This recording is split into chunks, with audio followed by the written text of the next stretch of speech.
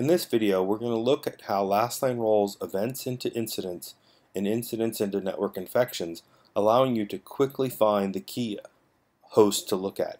In this video, we're going to look at how that shows you an entire attack chain where you don't have to look down into the individual events to expose that.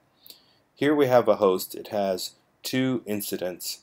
When we drill into those incidents, we can see that we have two separate incidents. One is a single command and control out to a sinkholed command and control server, and then we have seven individual events that starts with a malicious binary download.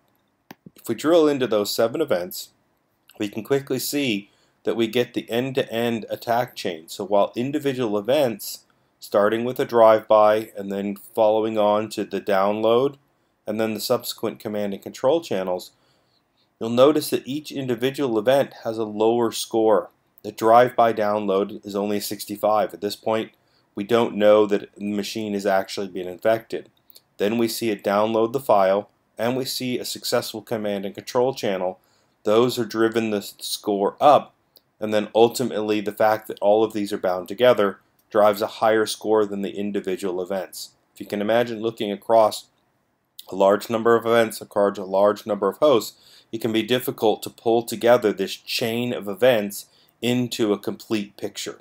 By rolling events into incidents and incidents into network infections, we allow you to focus immediately on the hosts that need the most attention and bind together the entire attack chain.